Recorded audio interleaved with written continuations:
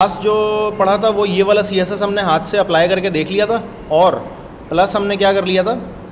Type scale को हमने discuss कर लिया था। अच्छा और यूनिट ऑफ़ टाइप साइजेस ये हम ज़रा सा आज कोशिश करते हैं इसको देखने की। मुझे ऐसा लग रहा है वैसे हमने ये भी पढ़ लिया था, लेकिन चले हम इसको दोबारा से एक ब्रीफली डिस्कस कर लेते हैं। अच्छा हमने ये तो बात देख ली थी कि भाई एक होता है 12 पिक्सल स्केल और एक होता है 16 पिक्सल स्केल। ठीक है 12 पिक्सल स्केल ज़रा सा थोड़ा पुराना है। जिसमें क्या होता है कि जो हमारा कोई भी बुक होती है या कोई भी वेबसाइट होती है या कोई भी पम्फलेट या लिटरेचर होता है, उसमें जो बॉडी का साइज़ है, ठीक है बॉडी सिर्फ़ एचटीएमएल के अंदर नहीं होती बॉडी किसी भी जगह पे हो सकती है ना। मिसाल के तौर पे आप कोई अगर बुक पढ़ रहे हैं तो उस बुक में जो आप एक्चुअल कंटेंट जिस साइज़ में पढ़ रहे होते हैं तो उसको ये कहते हैं कि जी ये बॉडी का साइज़ है। तो मिसाल के तौर पे अखबार में जो एक तो हेडिंग होती है बड़ी और इससे एक छोटी होती है, फिर एक्चुअल में जो सबसे छोटा साइज़ होता है, जिसमें वो एक्चुअल कंटेंट या एक्चुअल आर्टिकल लिखा होता है, उसको हम बॉडी का साइज़ कहते हैं। तो एक है जी ट्वेल्व पिक्सल स्केल कि जी जो आपका बॉडी का साइज़ होगा ना, वो ट्वेल्व पिक्सल होगा, और ज़ाहिर है हेडिंग वगैरह और ये सारी चीज़ें बॉडी के साथ ही रिलेटेड होती हैं। ठीक है? कि जी बॉडी जितना बड़ा होगा, ज़ाहिर है, उसका ज़रा डबल साइज़ कर देंगे तो वो हेडिंग बन जाएगा। एक होता है सिक्सटीन पिक्सल स्केल तो H T M L by default जब एच टी एम एल के ऊपर हम कोई पेज बनाते हैं तो वहाँ पे बॉडी का जो साइज़ होता है फॉन्ट का, वो 16 पिक्सल फॉलो करता है बाई डिफ़ॉल्ट ठीक है, इसको हम 12 पिक्सल पे लाना चाहें तो हम ला सकते हैं, लेकिन आमतौर पे अब इसकी ज़रूरत नहीं पड़ती हमें। ठीक है, सब लोग 16 पिक्सल को ही फॉलो कर रहे हैं, अब जो नया वाला स्टैंडर्ड है। तो हम ये ऊपर वाले पार्ट को छोड़ के हम सीधा नीचे वाले को देखते हैं। अच्छा अब क्या चक्कर है? ये बता रहा है कि भाई बॉडी का जो डिफ़ॉल्ट साइज़ है वो सिक्सटीन पिक्सल है। उसके बाद एच वन जो है, वो हमेशा बॉडी का डबल होता है। अच्छा ये हम पढ़ रहे हैं टाइपोग्राफी ये एच तो है ये एच लेकिन टाइपोग्राफी पढ़ रहे हैं टाइपोग्राफी क्या होती है? एक फ़ील्ड होती है। उस फ़ील्ड के जो बंदे होते हैं वो यानी जो फॉन्ट वगैरह होता है उसकी स्टडीज़ होती हैं।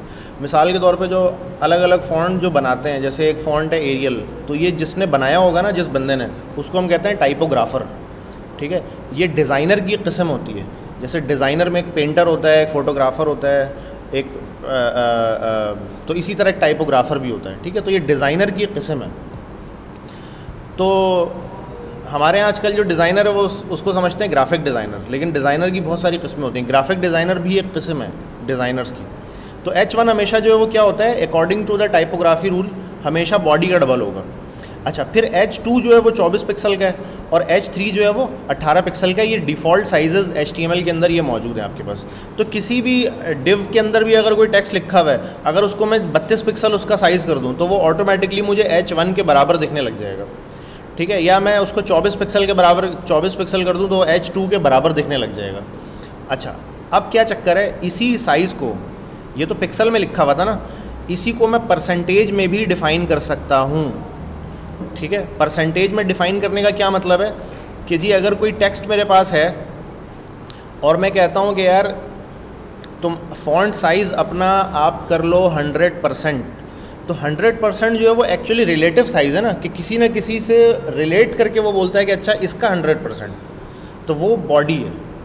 तो अगर मैं किसी डिव के ऊपर ये फॉन्ट साइज़ लगाऊँगा कि जी आप अपने आप को 100 परसेंट कर लो तो वो 100 परसेंट का क्या मतलब है? बॉडी के साइज़ से रिलेट करेगा वो अपने आप को। कि जी बॉडी का साइज़ 16 पिक्सल है तो 100 परसेंट का मतलब मैंने भी 16 पिक्सल होना है। अगर मैं बोलूँगा भाई किसी डिव को या किसी टेक्स्ट को कि अपना साइज़ आप कर लो 50 परसेंट तो 50 परसेंट का क्या मतलब है? 50 परसेंट का मतलब है कि बॉडी का जो भी साइज़ है ना, उसका 50 परसेंट तो बॉडी का साइज़ 16 पिक्सल है तो 50 परसेंट का मतलब क्या होगा? 8 पिक्सल तो ये हमें समझ आ गया परसेंटेज अच्छा इसी तरीके से अगर मैं बोलता हूँ ना वन परसेंट ये तो चलो परसेंटेज वाली बात तो यहाँ तक कंप्लीट हो गई, समझ आ गई. लेकिन वो कह रहे हैं कि किसी चीज़ को अगर एच थ्री के बराबर बनाना है और परसेंटेज में आप देंगे 133 उसको तो वो एच थ्री के बराबर हो जाएगा, यानी कि 18 पिक्सल हो जाएगा वो। अच्छा अगर किसी चीज़ को हम देंगे 150 परसेंट तो वो एच टू के बराबर हो जाएगा, यानी 24 पिक्सल हो जाएगा। और अगर किसी को हम देंगे 200 तो 200 का मतलब क्या है कि बॉडी 16 पिक्सल है तो ये 32 पिक्सल तो 32 पिक्सल एच वन के बराबर हो जाएगा वो। दिखने में वो एच जैसा दिखेगा। ठीक है तो टाइपोग्राफी के रूल के मुताबिक बॉडी अगर 100 परसेंट है तो एच वन उसका टू हंड्रेड होगा एच एच वन उसका टू हंड्रेड होगा एच टू वन फिफ्टी होगा और H three one thirty three होगा। ठीक है? तो ये वाली बात हो गई। अच्छा अब परसेंटेज में देने की ज़रूरत क्यों पड़ी? कौन बताएगा ये बात? ये हम डिस्कस कर चुके हैं वैसे थोड़ा सा पहले। थोड़ा सा मैं आपको हिंट्स दे चुका हूँ इसकी।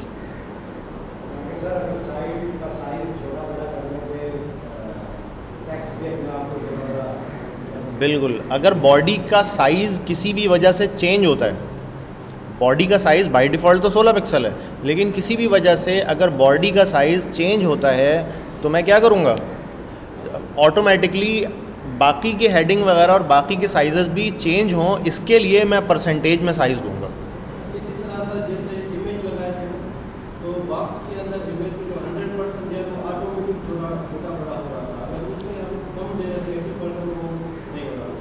हाँ। अच्छा ये आपने बड़ा अच्छा सवाल किया कि यार अगर तो टेक्स्ट को मैं देता हूँ हंड्रेड परसेंट तब तो वो बॉडी के इक्वल हो जाता है। कि भाई बॉडी सोलह पिक्सल है तो वो भी सोलह पिक्सल हो जाता है हंड्रेड परसेंट लेकिन अगर हम बॉक्स को किसी को देते हैं ना हंड्रेड परसेंट वेथ या हाइट देते हैं तो उस केस में हंड्रेड परसेंट बॉडी से ताल्लुक़ नहीं है उसका। हाँ। उसके जो उसका जो डायरेक्ट पेरेंट है जो वो उसके हिसाब से उसको समझता है। अच्छा सम टाइम लास्ट हमने क्लास में एक ये भी चीज़ नोटिस की थी जो फ्लैक्स बॉक्स जब हम पढ़ रहे थे तो उसमें हमने ये भी नोटिस किया था कि किसी चीज़ को अगर हम बिल्कुल अलग कर देते हैं एब्सोलूट कर देते हैं तो फिर उसका जो पेरेंट है वो भी हमें बताना पड़ता है कि जी ये पेरेंट है इसका। उसको ज़रा एब्सोलूट के साथ एक और चीज़ हमें लगाने पड़ती थी हमें। वेल well, तो किसी भी बॉक्स के ऊपर अगर मैं हंड्रेड परसेंट देता हूँ साइज़ तो उसका बॉडी से ताल्लुक़ नहीं है। उसका ताल्लुक़ उसके पेरेंट बॉक्स से तो उसके पेरेंट के बॉक्स के जितना हो जाएगा वो। अच्छा अब ये तो चलो जी बात समझ आ गई। अब एक नया स्टैंडर्ड आजकल मार्केट में आ गया है। That is called E M सही है? अच्छा ई e एम जो है वो क्या बोला है? वो यही परसेंटेज का सिंप्लीफाइड फॉर्म है और ज़रा सा मोर ह्यूमन लाइक है। ठीक है, ये परसेंटेज ज़रा ह्यूमन लाइक नहीं है, इसको ज़रा कैलकुलेट करना पड़ता है। थोड़ा सा तीन डिजिट हो जाता है ना, थोड़ा कचरा कचरा फील कराता है थोड़ा ये। ठीक है मैसी होता है थोड़ा ये। तो ये ज़रा सा ना एक नॉर्मल बंदे के लिए जो है ना, एक ये वो है। आसान है ज़रा इसको इस्तेमाल करना। अच्छा ई एम इट्सल्फ क्या चीज़ है? इसको पहले समझें। ई e एम जो है ना, वो एक एम का जो साइज़ होता है ना, किसी भी फॉन्ट के अंदर जो एम का साइज़ होता है। अच्छा एम आप नोटिस करें, सबसे जो चौड़ा कैरेक्टर होता है ना किसी भी फॉन्ट में, यानी सबसे ज़्यादा विर्द होती है जिसकी, वो एम होता है। और सबसे कम विर्द जिसकी होती है, वो आई होता है। है ना? आई बिल्कुल सीधा होता है, एक डॉट होता है उसके तो वो सबसे पतला होता है चौड़ाई में। तो ये सबसे ज़्यादा वाइड कैरेक्टर होता है किसी भी फॉन्ट के अंदर। तो इसी वजह से वो एम की बात कर रहा है कि जी, ये एम का जो भी साइज़ होगा ना इसके तो उतना साइज़ समझता है वन ई एम अगर हम करें तो। ठीक है? अगर मैं किसी पैराग्राफ को बोलता हूँ कि जी, आप वन ई एम हो जाओ तो वन ई एम का मतलब क्या है? वन ई एम का मतलब है कि भाई आप सोलह पिक्सल हो जाओ। ठीक है? अच्छा तो इसका मतलब है कि अगर मुझे किसी फॉन्ट को डबल करना है बॉडी से तो मैं उसको टू ई एम कर दूँगा। वो डबल हो जाएगा। तो बात वही परसेंटेज वाली है यहाँ पे भी टू हंड्रेड परसेंट ठीक है, लेकिन ज़रा लिखने का अंदाज़ थोड़ा मुख्तलिफ़ है। ठीक है, और परसेंटेज से भी थोड़ा सा ये मुख्तलिफ़ है। क्यों? कि कुछ फॉन्ट ऐसे हो सकते हैं जिसमें एम का साइज़ हो सकता है, किसी एक फ़ॉन्ट से थोड़ा बड़ा हो। ठीक है तो इस इस लिहाज से थोड़ा सा मुख्तलिफ़ भी है ये। एक्चुअल बिल्कुल परसेंटेज के इक्वल नहीं है ये। मतलब अगर किसी चीज़ को मैं 200 परसेंट करूँगा ना और 2 ई e करूँगा तो वो हो सकता है थोड़ा सा छोटा बड़ा हो। ठीक है? एग्जैक्टली टू हंड्रेड परसेंट नहीं होगा। क्यों? टू हंड्रेड परसेंट में क्या देखता है वो कि जी सोलह है ना तो बत्तीस ही करना है। सोलह है तो बत्तीस ही करना है। लेकिन हो सकता है किसी फॉन्ट में ऐसा हो कि एम जो है ना एम का साइज़ ज़रा छोटा हो। वैसे तो सोलह पिक्सल है वो, लेकिन एम का साइज़ ज़रा छोटा है। तो वो फिर, मिसाल के तौर पे एम का साइज़ पंद्रह है उसमें। तो टू ई एम में जो है वो पंद्रह पंद्रह तीस करेगा, उसको बत्तीस नहीं करेगा। तो ई एम जो है ना, ज़रा डिज़ाइनर के नज़दीक आजकल थोड़ा सा उसको ज़्यादा ये वैल्यू देते हैं। अच्छा ई एम करता क्या है? ई एम बॉडी का साइज़ नहीं देखता है। ये भी एक चीज़ समझ लें आप। ई एम क्या देखता है? अपने पेरेंट यहाँ पे उन्होंने लिखा हुआ भी है जी। E M S allow you to change the size of a text relative to the size of the text in the parent element ये अपने पेरेंट एलिमेंट को देखता है। ठीक है? Since the default size of text web browser is सोलह pixel you can use similar rules for those shown for percentage ठीक है यही वजह है कि आप देखें बॉडी को ना इसने ऐसे हंड्रेड परसेंट करके मैंशन किया अलग से। तो मतलब ये अपने क्या देखता है पेरेंट को देखता है। अच्छा बाय डिफ़ॉल्ट अगर आपने कोई छेड़छाड़ नहीं की है तो वो सोलह पिक्सल ही होगा। अब कोई मैं भले पैराग्राफ बनाऊँ कोई मैं डिव बनाऊँ उसके अंदर जो भी कुछ लिखूँगा मैं अगर कोई छेड़छाड़ नहीं हुई तो बाई डिफ़ॉल्ट वो सोलह ही पिक्सल होगा। ठीक है तो आ, क्या कहते हैं ये टू ई एम लिखूँगा जब तो वो टू ई एम समझेगा जो भी बॉडी का साइज़ है उसका डबल लेकिन अगर किसी बॉक्स के अंदर मैंने फॉन्ट का साइज़ पहले ही पिक्सल में बता दिया है कि यार इतने पिक्सल हो। तो ये अपने पेरेंट को फॉलो करता है फिर। इसका पेरेंट जो भी बोलेगा, ये वो करेगा। ठीक है? अपने पेरेंट का जो बॉडी का साइज़ है, वो देखता है किसी मेरा पेरेंट जो है, जैसे पैराग्राफ है कोई तो उस पैराग्राफ के अंदर जो वो टेक्स्ट का जो साइज़ होगा ना, अब उसमें मैं किसी एक वर्ड को क्या करूँ? डिव में पैक करूँ। और डिव में पैक करके उसको बोलूँगे, भाई टू ई एम तो वो उस पैराग्राफ का जो टेक्स्ट होगा ना, उससे टू ई एम होगा वो। वो बॉडी के साइज़ को नहीं देखेगा। अच्छा एक और भी यूनिट है। क्योंकि ज़ाहिर है जब ये अपने पेरेंट को फॉलो करता है ना तो ज़रा सा ये मुश्किल है फिर। क्योंकि पहले जो एचटीएमएल के जो डेवलपर्स हैं, उनको परसेंटेज की आदत है। इस चीज़ को अचीव पहले परसेंटेज से करते थे ये। तो इनके लिए एक और यूनिट है that is called R E M सही है? R E M R E M क्या करता है? वो अपने बॉडी अपने पेरेंट का नहीं देखता। वो मेन बॉडी का साइज़ देखते हैं, ठीक है? तो आजकल आप जितने भी जो नए वाला जो लोग कोड लिख रहे हैं यूट्यूब वगैरह पर ट्यूटोरियल देखेंगे तो उसमें लोग ई e का भी इस्तेमाल नहीं करते, उसमें आर ई एम का इस्तेमाल करते हैं। आर ई एम में और ई e एम में क्या फ़र्क है? कि ई e एम जो होता है, यानी कि ये वाला, ये अपने पेरेंट को देखता है, ठीक है? अगर ये तीन चार डिव के अंदर अंदर अंदर है तो अपने पेरेंट को देखेगा। लेकिन आर ई एम जो है, वो क्या करता है? वो बॉडी को देखता है। जो मेन बॉडी है ना रूट के ऊपर जो बॉडी है, उसको देखता है वो, ठीक है? तो आज के बाद हम जो फॉन्ट का इस्तेमाल करेंगे, वो हम कौन सा करेंगे? वो हम आर ई एम कोशिश करेंगे करने की। अच्छा अब सवाल एक यहाँ पे और भी है कि मैं शुरू से ये बात कहता हुआ आ रहा हूँ कि बॉडी का साइज़ किसी भी वजह से अगर चेंज होगा तो बाकी की एडिंग और बाकी की चीज़ें भी चेंज होंगी। लेकिन वो कौन सी वजह होगी कि बॉडी का साइज़ चेंज होगा? ऐसा कब होगा? ऐसा तो नहीं हो बॉडी का साइज़ तो जो मैंने रखा वही रहेगा। मतलब मैंने एक वेबसाइट पब्लिश कर दी, वो यूज़र के पास चली गई यूज़र ने उसको ओपन कर लिया, अब उसके बॉडी का साइज़ कैसे चेंज होगा? वो क्या रीज़न हो सकता है? अच्छा डिवाइस कोई सी भी हो ना, जैसे कोई सा भी फ़ोन हो या कोई सा भी लैपटॉप हो, जब मैं एचटीएमएल का पेज खोलूँगा ना उसका तो अगर मैंने 16 पिक्सल बोला है बॉडी या 16 पिक्सल है डिफ़ॉल्ट सारे ब्राउज़र एच टी का स्टैंडर्ड है ये, कि बॉडी का साइज़ 16 पिक्सल होगा। तो तमाम ब्राउज़र में ये बॉडी का साइज़ 16 पिक्सल होगा। तमाम डिवाइसेस की जो स्क्रीन है, हमने ये शुरू में डिस्कस किया था जब हम आरजीबी के कलर्स वगैरह पढ़ रहे थे। तो जितनी भी डिवाइसेस है ना, उनकी जो स्क्रीन है, उसका अपनी डेंसिटी जो भी हो, वो उसको स्केल करके ना, उसके ऊपर ले आते हैं। तो 16 पिक्सल जब मैं लिखूँगा तो वो बाकायदा उतना ही बड़ा मुझे दिखेगा। 16 पिक्सल ही दिखेगा मुझे वो। तो किसी भी डिवाइस पे मैं खोलूँ, वो मुझे 16 ही पिक्सल दिखेगा, चाहे वो मोबाइल डिवाइस हो, चाहे वो लैपटॉप हो, चाहे वो कंप्यूटर हो। वो चेंज नहीं दिखाएगा मुझे। फिर अब और कौन सी सिचुएशन ऐसी हो सकती है कि वो चेंज हो फॉन्ट का साइज़ हाँ भाई, कोई आइडिया कोई ओपिनियन किसी का? जूम इन जूम आउट से। नहीं जूम इन जूम आउट तो चले, ये तो मैं करता हूँ ना, लेकिन वो डॉक्यूमेंट तो पूरा वहीं रहता है। अगर मैं किसी चीज़ को जूम इन जूम आउट भी करता हूँ, जैसे मैंने अभी ये लिखा, अब ये 16 पिक्सल में दिख रही है मुझे बॉडी इसकी ना, ठीक है? तो अगर मैं ऐसे जूम इन करता हूँ तो ये तो उतना ही है ना, ये तो नहीं चेंज हुआ। अच्छा अगर मैं ऐसे भी जूम इन करता हूँ तो वो उसको स्केल उतने पर ही रखता है। उसको स्केल करके वो ना यानी सिमिलर स्केल में उसको बड़ा कर रहा होता है वो। वेल well, तो लेकिन स्केल अगर इसको मैं जूम इन फुल भी कर दूँ और जाके मैं अंदर फॉन्ट का साइज़ चेक करूँ तो फॉन्ट का साइज़ वही होगा। फॉन्ट का साइज़ बदला हुआ नहीं होगा। फॉन्ट का साइज़ सेम होगा। और कौन सी सिचुएशन ऐसी हो सकती है कि जिसमें फॉन्ट का साइज़ चेंज हो?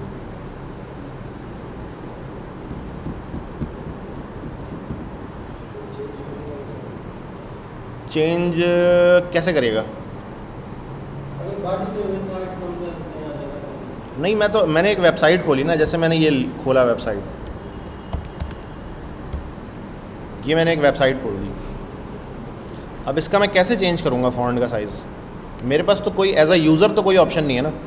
एज अ यूज़र कोई ऑप्शन नहीं है मेरे पास कि मैं बॉडी का साइज़ चेंज कर दूँ इसका। अब वो कौन सी सिचुएशन हो सकती है? होगा तो सही। जब ही तो वो सारा मंजन किया हुआ उन्होंने अंदर, वरना इतना दिमाग लगाने की ज़रूरत ही नहीं थी। अच्छा एक ही सिचुएशन होगी, जब फॉन्ट का साइज़ ना चेंज होगा, यहाँ पे। अच्छा वो होगा एक्सेसिबिलिटी एक्सेसिबिलिटी क्या चीज़ होती है कि जी वो, एक तो जो आम लोग हैं, माशाल्लाह हम सब यहाँ पे लोग, सारे तंदुरुस्त लोग बैठे हुए हैं। अच्छा कुछ लोग होते हैं विजुअली इम्पेयर्ड होते हैं। अच्छा विजुअली इम्पेयर्ड का मतलब ये नहीं है कि बिल्कुल ही ब्लाइंड होगा बंदा। विजुअली इम्पेयर्ड की पता नहीं, चालीस, पचास कस्में अलग अलग जिसमें आपके कलर ब्लाइंडनेस से लेके और जो है ना, वो ब्लर दिखना और एंगल टेढ़ा दिखना और पता नहीं वो एक हज़ार तरह की इसके अंदर जो है ना हाँ तो चालीस, पचास इसमें मोस्ट कॉमन है। कुछ लोगों को कंट्रास्ट नहीं दिखता। इस तरह की तो विजुअली एम्पेयर्ड होने की ना अलग अलग किस्में तो ये सबको काउंटर करते हैं। ख़ास तौर पे जो बड़ी कंपनीज़ हैं, जैसे एप्पल है, वो अपनी डिवाइसेस में इन सब चीज़ों को काउंटर करता है। जैसे माइक्रोसॉफ्ट है, वो अपने विंडोज़ में ये सारे फीचर्स रखता है। आप एक्सेसिबिलिटी हर फ़ोन के अंदर एंड्रॉयड के एक्सेसिबिलिटी का एक ऑप्शन होता है। ठीक है? आईफोन के अंदर भी एक्सेसिबिलिटी का एक ऑप्शन होता है। तो जितनी भी जो मेन स्ट्रीम डिवाइसेज हैं, और जो जो मेन स्ट्रीम कंपनीज़ हैं, जिसको हम कहते हैं फ्लैगशिप कंपनीज़ ठीक है? फ्लैगशिप कंपनीज़ जैसे कि गूगल है एप्पल है माइक्रोसॉफ्ट है ये सारी फ्लैगशिप कंपनीज़ हैं इस वक्त, ठीक है? फ्लैगशिप एक टर्म होती है वैसे तो बड़ी पुरानी टर्म है। पहले जब, जिस ज़माने में कश्ती पे जंग होती थी, जो शुरू शुरू, जो पानी पे लोगों ने जंग करना शुरू हाँ तो उसमें फ्लैग होता था एक शिप में तो वो फ्लैगशिप होता था। तो फ्लैगशिप का सीन ये होता था कि फ्लैगशिप सबसे आगे चलता था, और उसके अंदर अभी भी ऐसी हैं अच्छा गुड यार फ्लैग कैरियर होता है। अच्छा तो वो पुरानी जो मूवीज़ में जो आ, क्या कहते हैं वो दिखाते हैं कि जी वो जो एचलीस वाली मूवी ना ट्रॉय वाली उसमें दिखाते हैं वो एचलीस खुद जो होता है वो फ्लैगशिप के अंदर होता है। और वो पीछे से सब लोगों को वो ललकारता भी है और ज़रा फिर आ, उसको फॉलो करते हैं। जो सारे पीछे की शिप्स होती हैं उसको फॉलो करते हैं। तो फ्लैगशिप कंपनीज़ यानी जो एप्पल और गूगल जो काम कर देता है या माइक्रोसॉफ्ट जो काम कर देता है फिर ऑनवर्ड जो उसके नीचे की कंपनीज़ हैं छोटी छोटी वो सब उन्हीं को ही फॉलो करती हैं उसी को आगे लेके चलती हैं वो।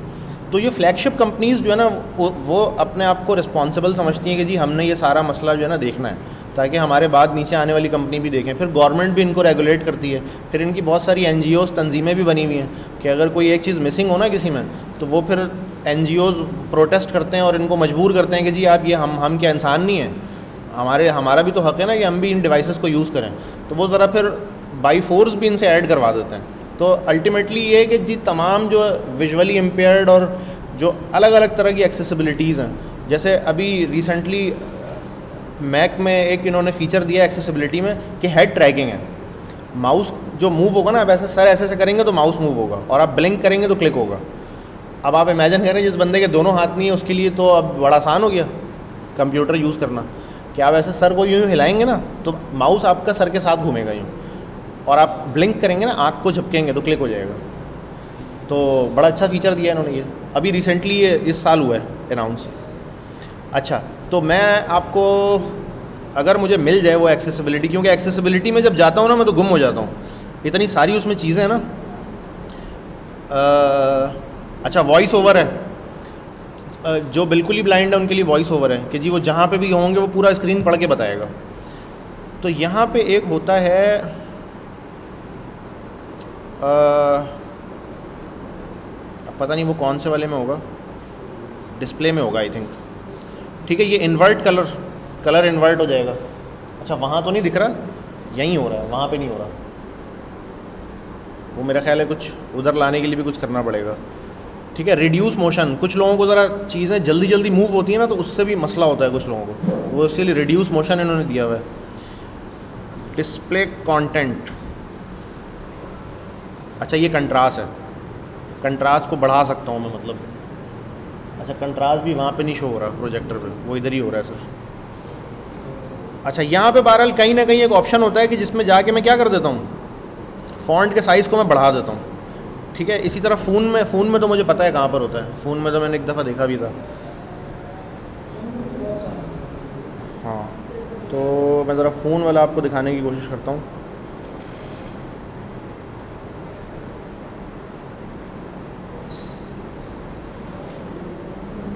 फ़ोन में जो है वो डिस्प्ले एंड ब्राइटनेस में जाके ना, और नहीं, ये रहा टेक्स्ट साइज़ अब टेक्स्ट साइज़ में क्या होता है कि जैसे ही मैं इसको बड़ा करता हूँ ना टेक्स्ट को तो ये देखें पूरा फ़ोन मेरा साइज़ बड़ा हो जाता है पूरे फ़ोन का. अब जब मैं इसको बाहर निकलूँगा ना तो हर चीज़ का देखें साइज़ बड़ा हुआ हुआ है. ये कैलेंडर यूटिलिटीज़ जो कराची लिखा हुआ है, इस सब का साइज़ बड़ा हो गया. और मैं वापस इसको जब नॉर्मल करूँगा ना तो इन सब चीज़ों का साइज़ वापस नॉर्मल हो गया। ठीक है? तो ना सिर्फ़ इसका, बल्कि पूरे जो फ़ोन का, बल्कि इसमें जो अब मज़ीद डॉक्यूमेंट खुलेंगे, जो भी होगा। अभी तो ये मैंने नॉर्मल सेटिंग वाले से किया है कि इसमें एक्सेसिबिलिटी में एक और होता है। वो बहुत ही बड़ा और बहुत ही छोटा कर देता है। मतलब इतना बड़ा कर देता है कि कराची दो लाइन में लिखा हुआ होता है, पूरी स्क्रीन के ऊपर। इतना उसको ज़्यादा वो बड़ा कर देता है। तो मैं एक्सेसिबिलिटी में जाके इसमें ये रहा। एक्सेसिबिलिटी में गया मैं डिस्प्ले एंड टेक्स साइज़ ठीक है? अच्छा मैंने एक एक्सेसिबिलिटी को यूज़ भी किया हुआ है। मैंने फ़ॉन्ट को बोल्ड किया हुआ है। मैंने बोल्ड ही करके रखा हुआ है फ़ॉन्ट को ना तो ये एक्सेसिबिलिटी फ़ीचर है। ठीक है जी, यहाँ पे फ़ॉन्ट का साइज़ भी कहीं ना कहीं एक आ रहा होगा। वेल वो भी नज़र नहीं आ रहा। अच्छा तो एक तो ये हो गया जी कि हर डिवाइस के अंदर ना बिल्ट इन एक्सेसिबिलिटी के फीचर्स होते हैं। वहाँ से जाके अगर कोई बंदा फ़ॉन्ट के साइज़ को बढ़ा दे तो पूरे सिस्टम का फ़ॉन्ट साइज़ बढ़ जाता है और वो ब्राउज़र वगैरह में भी जब कोई चीज़ खुलती है तो फिर वहाँ पे भी बढ़ा हुआ आ रहा होता है फ़ॉन्ट का साइज़ दूसरा ऑप्शन ये हो सकता है एक्सेसिबिलिटी से ही मुतल है, लेकिन एक दूसरी सिचुएशन हो सकती है कि बहुत सारे एक्सेसिबिलिटी के सॉफ्टवेयर हैं थर्ड पार्टी ठीक है? जो कि गूगल क्रोम के एक्सटेंशन की सूरत में भी है और इंस्टॉलेबल सॉफ्टवेयर की सूरत में भी है. ठीक है? एक दो मशहूर सॉफ्टवेयर हैं जो विजुअली इम्पेयर्ड लोग इस्तेमाल करते हैं। स्क्रीन रीडर्स हैं असल में वो। बेस्ट एवर स्क्रीन रीडर लिखूँगा ना मैं।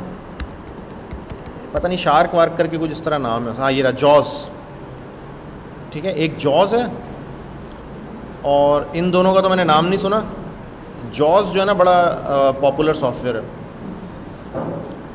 दो सॉफ्टवेयर हैं जॉज के अलावा भी एक और है।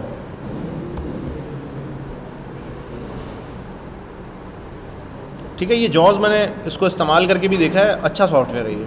ये जब इंस्टॉल होता है तो ये पूरे कंप्यूटर को टेक ओवर कर लेता है आपके।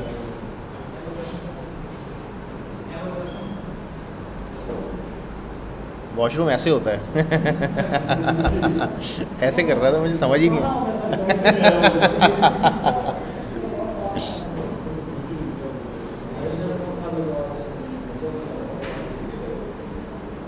अच्छा जी। तो ये सॉफ्टवेयर हैं जो इंस्टॉल हो जाते हैं और ये जॉज जो है, ये बाकायदा एक सॉफ्टवेयर है जो लोग प्रॉपर इस्तेमाल भी कर रहे होते हैं उसको ठीक है? और अभी मैं लिखूँगा ना कि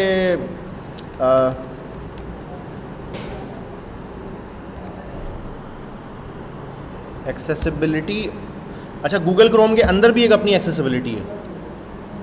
गूगल क्रोम में भी एक एक्सेसिबिलिटी का फ़ीचर है ना? अभी यहाँ मैं सेटिंग में जाऊँगा ना तो यहाँ पे आ रहा होगा।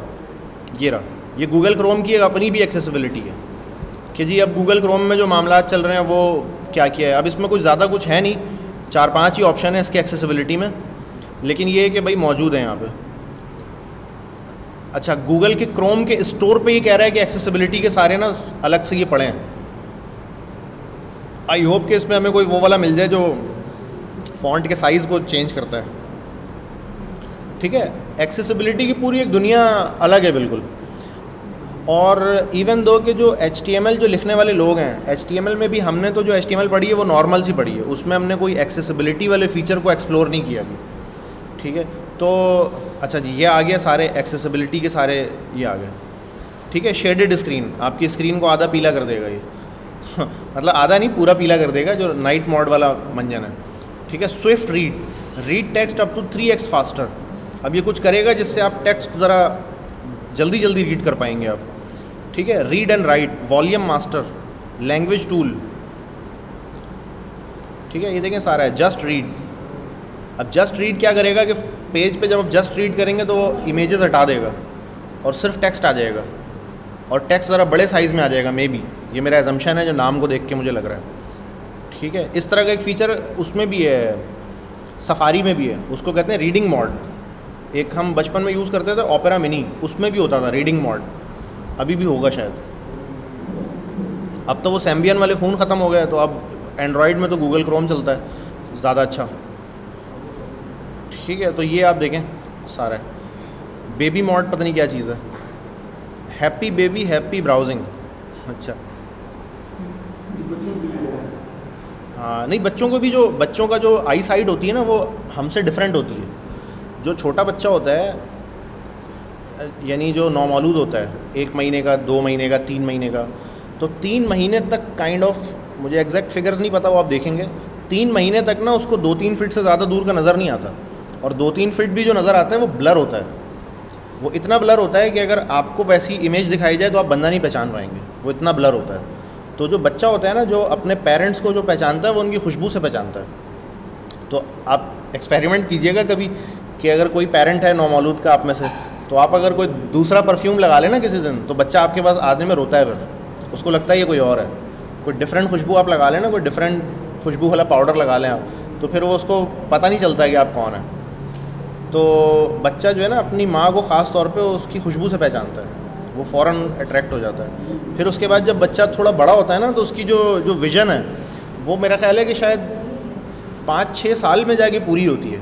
विज़न जो हम जो हम देख रहे हैं इस वक्त ठीक है तो वो पाँच छः साल में जाके शायद पूरी होती है विज़न उससे पहले पहले उसकी विज़न बहुत कम होता है। और यही वजह है कि एक तो बच्चों का साइकोलॉजिकल भी है एक पॉइंट ऑफ़ व्यू लेकिन शायद ये भी एक रीज़न है कि बच्चों को ज़रा डार्क किस्म के कलर ना पसंद होते हैं। आप देखें बच्चों को डार्क रेड और वो खिलते हुए बिल्कुल कलर ना बच्चों को पसंद आते हैं। क्योंकि वो उनको नज़र ही वही आते हैं अच्छे। ये बाकी कलर जी ग्रे वरे ये छोटा मोटा जो हमें दिख रहा है ना, ये शायद उनको उस तरह नज़र नहीं आता। तो मे भी एक ये भी रीज़न हो सकता है। वैसे तो साइकोलॉजिकल रीज़न होता है क्योंकि वो ज़रा दुनिया में नए होते हैं ना तो क्यूरियोसिटी की वजह से होता है वो। वेल तो हमने ये चार्ट समझ लिया। अब हम आगे चलते हैं। जी। अगर हमने इसको करना है हाँ। तो फिर हम ईएम यूज़ करेंगे। ईएम यूज़ अगर हमने बॉडी क्लास में फिर आरईएम यूज़ करेंगे। हाँ लेकिन असल में आपका सवाल अच्छा है। आपका सवाल शायद ये है कि हमें कब ये ज़रूरत पड़ेगी कि हम पेरेंट को फॉलो करें? मेरा ख्याल अच्छा मुझे नहीं पड़ती ये ज़रूरत पेरेंट को फॉलो करने वाली। मुझे आम तौर पे इस चीज़ की ज़रूरत नहीं पड़ती कि मैं पेरेंट के साइज़ को मैं देखूँ। आम तौर पे जो है ना बॉडी के ही साइज़ को हम देख रहे होते हैं। क्योंकि आजकल ना, अब ज़रा सा ट्रेंड कुछ इस तरह का हो गया है ना कि वेब पेजेस हमारे इतने ज़्यादा हम कॉम्प्लेक्स नहीं बनाते। जैसे पिछले दिनों आपको मैंने एक साइट दी थी ना जो आई एस पी आर की साइट तो जो इस तरह की वेबसाइट है ना, बहुत ज़्यादा कॉम्प्लेक्स किस्म की। आपको इस तरह की वेबसाइट अब नज़र नहीं आएगी। रेयर है बहुत। ये आप देख हैं, इतना कुछ है, इसमें सारे डब्बे भी हैं और साइड पे भी इमेजेस आ रही हैं। ये इस तरह के जो वेब पेजेस हैं ना, वो अब रेयर हो गए हैं। अच्छा आजकल के वेब पेजेस किस तरह के होते हैं? जैसा वो थ्रेड है। हाँ सिंपल होगा, बिल्कुल। उसमें ज़्यादा कुछ होता नहीं है। थ्रेड्स ऐप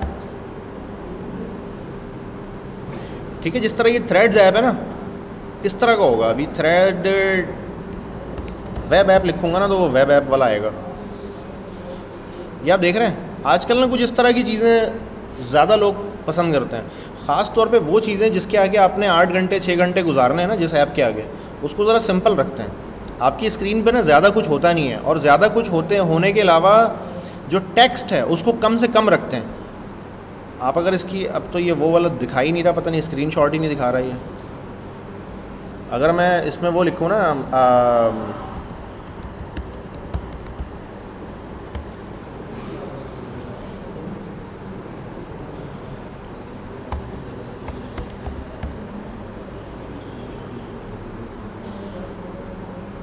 अब आप अगर ये टिकटॉक वाली स्क्रीन देखें ना इसमें टेक्स्ट लिखा हुआ ही नहीं है कहीं। ज़्यादातर काम आइकन से करते हैं अभी। ठीक है? आप देख रहे हैं? इसमें बस हार्ट का आइकन है, आपको समझ आ रहा है। हार्ट का मतलब है शायद लाइक टाइप का कुछ है। उसके बाद कमेंट है, उसके बाद शेयर है। उसके बाद ये पता नहीं क्या है म्यूज़िक है। और बस ये बंदे का नाम है और ये नीचे दो लाइन की डिस्क्रिप्शन है। दैट्स इट इतना ज़्यादा कुछ रखते नहीं हैं अब आजकल ना। जो बड़ी ऐप्स ख़ास तौर पे ना वो अवॉइड करती हैं। इवन दो कि आप अगर आप गूगल क्रोम को भी देखें ना तो ये गूगल को भी देखें तो इसमें देखिए इतना ज़्यादा कुछ है नहीं। बहुत कम टेक्स्ट होता है। वो पेरेंट के अंदर पेरेंट पेरेंट के अंदर पेरेंट वो मामला ना ज़रा कंट्रोल में रखे जाते हैं। इसका रीज़न हाँ हाँ। थोड़ा सा वो ना, अब क्योंकि यूज़र हमारा यूज़ टू हो गया इससे, बहुत ज़्यादा। कोई चीज़ तो नई नई होती है ना तो बंदा बोलता है अच्छा यार, ये जैसी है, वैसे ही एक्सेप्ट करता है। लेकिन थोड़े दिनों में जब वो यूज़ टू हो जाता है, फिर उसकी फरमाइशी प्रोग्राम शुरू हो जाता है कि नहीं जी, ये तो ऐसे मज़ा नहीं आ रहा। तो इसको इस तरह होना चाहिए तो ज़्यादा सही होगा। तो या फिर कोई एक बंदा करता है सिंपल पेज बना देता है तो उस पर ट्रैफ़िक ज़्यादा आ जाती है, लोग उसको ज़्यादा पसंद करते हैं तो बाकियों को खुद ही समझ आ जाता है अच्छा यार, इस तरह की चीज़ पे लोग आजकल अब ज़्यादा अट्रैक्ट हो रहे हैं। तो वो मार्केट अपने आप को खुद ही डिफ़ाइन करती है। तो अभी जो मार्केट ने अपने आप को डिफ़ाइन किया ना कि जी, एक पेज के ऊपर कम से कम टेक्स्ट होना चाहिए और कम से कम उसके ऊपर जो डेटा होना चाहिए और टू दी पॉइंट बात होनी चाहिए। और ज़्यादा अब आजकल ना हमारे जो नई जनरेशन है ख़ास तौर अभी एक चीज़ कहलाती है, उसको हम कहते हैं जनरेशन क्लासिफिकेशन ये पता है सब लोगों को? जनरेशन की जो क्लासिफिकेशन है, वो कहते हैं कि जी वो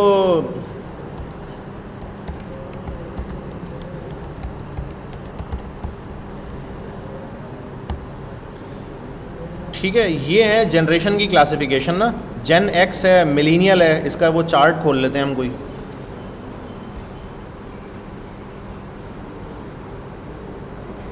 अबे खुल जा सिम सिम हाँ ये लोड हो गया।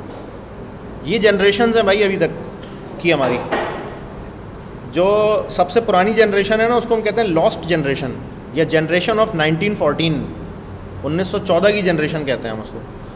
अच्छा ये उन लोगों को कहा जाता है जो पैदा हुए हैं 1890 में। और 1890 से लेके 1915 के दरमियान कहीं ना कहीं ये पैदा हुए हैं। अच्छा यंगेस्ट एज जो है वो 103 साल होगी इनकी, यानी इनमें से जो यंगेस्ट होगा ना, इस इस जनरेशन का इस वक्त, उसकी उम्र होगी 103 साल। और ओल्डेस्ट जो होगा वो 128 साल का होगा, यानी आज के दिन जो बंदा 103 से लेके 128 साल के दरमियान है, उसको कहते हैं लॉस्ट जनरेशन है और 1914 की जनरेशन फिर उसके बाद इंटरबिलियम फिर ग्रेटेस्ट जनरेशन है, फिर साइलेंट जनरेशन है। हमारा जो शुरू होता है ना, वो जेन एक्स से शुरू होता है। ठीक है, हम जैन एक्स से देखते हैं, जितनी भी नई वाली ऐप्स जो बनती हैं, वो जैन एक्स से ऑनवर्ड्स को देख रहे होते हैं। उससे पीछे वाले को नहीं देखते ये ठीक है? लेकिन बेबी बूमर जो है वो तारीख में बहुत बड़ा एक है इनका भी हिसाब किताब। बेबी बूमर है 1946 से लेके 1964 तक। तो आ, ये वो जनरेशन थी जब बच्चे बहुत ज़्यादा पैदा हुए हैं इसमें। मिसाल के तौर पे जब जब 1900 शुरू हुआ था सन 1905 में या 1901 में वर्ल्ड बैंक ने एक रिपोर्ट जारी की थी उस वक्त दुनिया की आबादी थी 500 मिलियन अभी तो आठ बिलियन है ना? यानी आधा बिलियन थी उस वक्त। अभी आठ बिलियन हो गई इस वक्त। आधा बिलियन थी उस वक्त। वर्ल्ड बैंक ने रिपोर्ट जारी की थी कि भाई अगर ये ना आधा बिलियन से अगर ये एक बिलियन हो गई, इस सेंचुरी के आखिर तक, यानी सन 2000 तक, अगर ये एक बिलियन हो गई तो ऐसा हाल हो जाएगा कि ना किसी के पास खाने को कुछ होगा, ना किसी के पास पहनने को कुछ होगा। रिसोर्सेज लिमिटेड है हमारे पास, और जो है ना, अगर ये जनरेशन इसी तरह बढ़ती रही, और सेंचुरी के आखिर तक ये एक बिलियन हो गई तो हम कैद साली से मर जाएँगे, क्योंकि खाना इतना है नहीं, जितने बंदे हैं। लेकिन अल्लाह का करना ऐसा हुआ कि जनरेशन के आखिर तक ये कहानी एक बिलियन पे भी नहीं, बल्कि पाँच बिलियन पे पहुँच गई। सन 2000 तक हमारी आबादी पाँच छः बिलियन हो चुकी थी। हाँ तो मरे भी हैं इतने ज़्यादा, लेकिन उसके बावजूद, ये शायद मे भी जो इतने लोग मरे थे, इसका फेयर था लोगों में। क्योंकि साइंटिस्ट तो आज भी कहते हैं ना कि अगर ह्यूमन रेस को बचाना है ना तो एक एक बंदे को सौ सौ शादियाँ करनी चाहिए और हज़ार हज़ार बच्चे करने चाहिए। जब जाके ह्यूमन रेस बचेगी, वरना ह्यूमन रेस ख़त्म हो जाएगी। क्योंकि कैटेस्ट्रॉफी इतनी सारी हो रही है ना, इतने सारे अभी सिचुएशंस हैं, कहीं आतिश फिशा फट रहा है, अभी चरनोबल का जो है, अभी वो बोलते हैं चरनोबल में अगर कोई मस्ती हुई ना तो पूरी दुनिया तबाह हो जाएगी। वो इतना, पता नहीं कितने मिलियन उसके अंदर किलो जो है ना, वो पड़ा हुआ है यूरेनियम और सब। और उसको जाके टच भी नहीं कर सकते, उसको हटा नहीं सकते, कुछ नहीं कर सकते, उसके करीब ही नहीं जा सकते। इतनी ज़्यादा रेडिएशन है। तो अभी बल्कि बीच में कोविड में हुआ भी था, वो आग लग गई थी वहाँ पे जंगल में। क्योंकि भाई, ज़ाहिर है वो पूरा चरनोबल का जो सिटी है, वहाँ बंदे तो है नहीं नो गो जोन है वो। तो वहाँ दरख्त बहुत ज़्यादा बड़े बड़े हो गए हैं और वो घास वास उग गई है। उसमें आग लग गई थी। तो वो आग जाते जाते ना चरनोबल पावर प्लांट तक पहुँच गई थी। लेकिन वो बचत हो गई एंड टाइम पर वो खुद ही बुझ गई। वहाँ पर क्योंकि घास नहीं है, उसके सौ मीटर के रेडियस में घास नहीं है। अगर वो लग जाती ना आग उसमें, दुनिया ऐसी ही ख़त्म हो जाती। कोविड के बिल्कुल फ़ौर बाद हुआ था ये। ये न्यूज़ चली थी, लेकिन इतनी ज़्यादा फ़ेमस नहीं हुई थी। वेल तो इस तरह की बहुत सारी चीज़ें ऐसी हैं ना टिकिंग टाइम बॉम्ब जो है, हमारे दुनिया में कई जगह पे लगा हुआ है। फिर आपको पता है, हर एरा गैरा जो कंट्री है, वो इस वक्त एटॉमिक पावर उसके पास आ गई है। मतलब इवन दो कि जिस, जिसने खुद नहीं भी हारनेस किया ना, एक तो कुछ वो कंट्री है जिसने खुद हारनेस किया है एटॉमिक एनर्जी को, जिसमें पाकिस्तान भी शामिल है, हमने खुद बनाया है। अमेरिका है उसके अंदर, इंडिया भी शायद अब है। तो लेकिन अब जिन्होंने नहीं भी खुद हारनेस किया ना, वो भी ख़रीद लेते हैं। अब जैसे ये अफ़गानिस्तान वगैरह, इस तरह की जो कंट्रीज़ हैं और ये ये रशिया से ले लेते हैं। फिर जो अमेरिका का दोस्त है, वो अमेरिका से ले लेता है। जैसे अभी यूक्रेन वगैरह तो यूक्रेन तो खुद इट्सल्फ मेरा ख्याल है एटॉमिक पावर नहीं है। लेकिन अमेरिका उसको दे रहा है, अमेरिका के जो एलाइज़ हैं, वो उसको दे रहे हैं सारा। तो भी हर एरे गहरे के पास एटमी हथियार भी मौजूद है। तो वो बस ज़रा सा भी टच टूस हुआ ना तो वर्ल्ड वॉर थ्री स्टार्ट हो जाएगी। फिर एक ने फायर किया तो दूसरा भी करेगा फिर तीसरा भी करेगा। तो वो सिचुएशन हो जाएगी जो एक मूवी है दी वन हंड्रेड उसमें दिखाते हैं कि वो पूरा ही नीचे ख़त्म कर देते हैं। तो, हाँ। तो हाँ तो ये बोलते हैं कि यार साइंटिस्ट ना कि भाई ह्यूमन रेस को बचाना बड़ा मुश्किल है अगले दो चार सेंचुरी में हम शायद ख़त्म हो जाएँ पूरी तो इसको अगर बचाना है तो बच्चे ज़्यादा पैदा करो और पता नहीं आठ बिलियन हो गए। एक तबका वो है जो कहता है यार ये तो बहुत मसला हो रहा है। और एक तब जो इंटेलेक्चुअल तबका है ना वो कहता है यार थियोरिटिकली तो यही है कि भाई बच्चे ज़्यादा होंगे तो बचेंगे हम। अब कैसे होंगे कैसे होंगे वो नहीं पता। लिमिटेड रिसोर्स है सब कुछ लिमिटेड है लेकिन वो थियोरेटिकली यही बात है कि बच्चे ज़्यादा होने चाहिए। तो जब ही हम बचेंगे हमारी रेस वरना हम ख़त्म हो जाएँगे। वेल well, तो शायद इनके पास ना फेयर था इस चीज़ का कि वर्ल्ड वॉर टू में अभी इतने लाखों की तादाद में लोग मर गए थे। तो इन्होंने बोला पता नहीं शायद हम रेस ही ख़त्म ना हो जाए हमारी। फिर ज़ाहिर है, जैसे कुछ घर होते हैं जिनमें जैसे किसी घर का अगर एक दो फैमिली मेंबर अगर डेथ हो जाए ना किसी की तो वो घर वाले बड़ा लोनली फील करते हैं। ये मैंने खुद पर्सनली ये चीज़ ऑब्ज़र्व की है। हमारे कुछ रिलेटिव्स ऐसे हैं जिनके फैमिली मेंबर ना, जिनके वालिद साहब का भी इंतकाल हो गया और एक सिस्टर का इंतकाल हो गया। तो अब वो बड़ा लोनली फील करते हैं। वो कहते हैं, यार, ये तो हालाँकि अभी भी चार बंदे हैं फैमिली में वो, लेकिन वो बड़ा लोनली फील करते हैं। वो कहते हैं, यार फैमिली तो बड़ी छोटी हो गई है हमारी। तो शायद मे बी इस फेयर में जाके ना उन्होंने बहुत ज़्यादा वो फिर बच्चे पैदा हुए हैं इस टाइम पर तो बेबी बूमर इनका नाम रख दिया उन्होंने तो वेल जेन एक्स 1965 से लेके 79 तक है। उसके बाद ये सिलीनियल्स हैं, उसके बाद मिलीनियल्स हैं। मैं जो आता हूँ, वो आता हूँ जैन वाई में। नाइन्टी फोर में। और मिलीनियल्स और जैन वाई अच्छा मिलीनियल और जैन वाई इन्होंने एक ही ब्रैकेट में लिखा हुआ है ना, लेकिन मिलीनियल्स और जैन वाई अलग अलग हैं मिलीनियल्स जो है ना, वो ख़त्म होते हैं नाइन्टी थ्री पे ख़त्म होते हैं वो। वो फोर तक नहीं जाते। और जो जैन वाई जो है ना, वो नाइन्टी फोर और नाइन्टी फाइव दो ही साल तक हैं बस। अब पता नहीं क्या वजह उसकी उन्होंने किया है। और उसके बाद जैन जी है हमारे पास 95 से 2012 तक। और अभी जैन एल्फ़ा चल रहा है। जैन एल्फ़ा 2025 तक जो बच्चे पैदा होंगे, वो जैन एल्फ़ा के लाएँगे अब 2025 के बाद कोई नया नाम ये डिवाइस करेंगे जब 2025 क्रॉस हो जाएगा तो। अच्छा तो ये वैसे मार्केटिंग वालों ने डिज़ाइन किया था इन द फ़र्स्ट प्लेस लेकिन अब क्या हुआ है कि जी वो हर फ़ील्ड में इसका कोई ना कोई थोड़ा बहुत यूज़ है। मार्केटिंग वालों ने क्यों डिज़ाइन किया था कि जी वो अच्छा इस एज के लोगों को क्या चीज़ अट्रैक्ट करती है? तो जो हम टीवी पे एड्स देखते हैं ना मोस्टली आप देखेंगे कि जो बड़े लोगों के जो प्रोग्राम है टॉक शोज़ वगैरह सियासी किस्म के, उसमें जो ऐड आते हैं वो ज़रा मुख्तलिफ़ होते हैं। और जो बच्चों के जो प्रोग्राम है, उसके साथ जो ऐड चलते हैं वो ज़रा मुख्तलिफ़ होते हैं। तो वो टारगेटेड ऑडियन होती है। इसको हम कहते हैं टारगेटेड ऑडियन तो वो इसमें से किसी एक जनरेशन को हम टारगेट कर रहे होते हैं। मिसाल के तौर पर जितने भी स्कूल्स हैं हमारे पास, वो हालाँकि स्कूल में तो छोटे बच्चे जाते हैं ना, लेकिन वो टारगेट करते हैं जेन एक्स को। क्योंकि जेन एक्स वो जनरेशन है जिनके बच्चे स्कूल जाते हैं। तो वो पेरेंट को टारगेट करते हैं अपनी मार्केटिंग में। वो कभी भी बच्चों को टारगेट नहीं करते। ठीक है? इसी तरीके से हमारे पास जो सुपर मार्केट्स हैं, वो भी इन्हीं को टारगेट करते हैं जेन एक्स को करते हैं। जो ब्रांड्स हैं, जो फ़ैशन ब्रांड्स हैं, वो टारगेट करते हैं ज़रा नई जनरेशन को। वो करते होंगे शायद, मेरे ख्याल है जैन वाई को या जैन जी को टारगेट करते होंगे वो। जो ये गुची वगैरह और ये ज़रा महँगे किस्म की चीज़ें हैं जो, ये ज़रा नए बच्चों को टारगेट करते हैं। ये मतलब पुराने लोगों को नहीं टारगेट करते ये, क्योंकि नए बच्चे ख़रीदते हैं ये सारा माल। ठीक है, जैसे इसी तरह आईफोन वगैरह जो बिकता है, वो ज़्यादातर नए बच्चे ख़रीदते हैं। पुराने बंदों नहीं ख़रीदते वो। बोलते हैं, यार, पुराने बंदे, यार, हमारे टाइम पर तो था ही नहीं। वो ज़रा ज़रूरत भी फील नहीं करते। वो कहते हैं, यार, हमें ज़रूरत ही नहीं है इसकी। वो कहते हैं, बस जो है, टूटा, वही है, सही है। उनको घर वाला फ़ोन ज़्यादा पसंद होता है, पुराने बंदों को। तो वेल तो ये जो चार्ट है इन द फ़र्स्ट प्लेस ये बनाया था मार्केटिंग वालों ने, और उसमें इसको यूज़ करते थे, लेकिन अब जाके ऐसा लगता है कि इसका हर फ़ील्ड में थोड़ा बहुत कहीं ना कहीं काम इसका है। जैसे वेब डेवलपमेंट में अभी हमने देखा कि जी, वो जो बच्चों की जो विज़न होता है तो अब कौन सी जनरेशन का विज़न का चार्ट है ना, वो एक अलग होगा अभी। अभी हम लिखेंगे तो वो भी आ जाएगा कि जी, कौन सी जनरेशन का जो विज़न है, वो इस वक्त क्या चल रहा है। तो हमें अगर किसको टारगेट करना है तो कैसा फ़ॉन्ट साइज़ रखना चाहिए? अब ये ज़रा फिर हम निकल जाएँगे डिज़ाइनर साइड पर क्योंकि ये काम होता है डिज़ाइनर का। ये डेवलपर का काम नहीं होता। डेवलपर को फ़ॉन्ट साइज़ बना के मिलता है कि जी, ये रखना है फ़ॉन्ट साइज़ ये डिज़ाइनर का काम होता है अच्छा जी इस वक्त कौन सी जनरेशन को हम टारगेट कर रहे हैं, उसका विजन क्या है, उसके इंटरेस्ट क्या है, उनको कौन सा कलर पसंद है, वो कहाँ जाते हैं, कहाँ रहते हैं, क्या पढ़ते हैं, इस वक्त उनकी ज़िंदगी में क्या सिचुएशन होगी? जैसे टीन जो होते हैं ज़्यादातर, वो ज़िंदगी में उनके ज़रा मामला थोड़े एक सिमिलर किस्म के चल रहे होते हैं। ठीक है, जो बच्चे होते हैं स्कूल जाने वाले, उनके मामला ज़रा सिमिलर होते हैं। बुली हो रहा होता है बच्चा स्कूल में किसी ने बुली कर दिया बच्चे को। ठीक है टीन में ये होता है कि जी वो बंदी थी, वो छोड़ के भाग गई इस तरह की।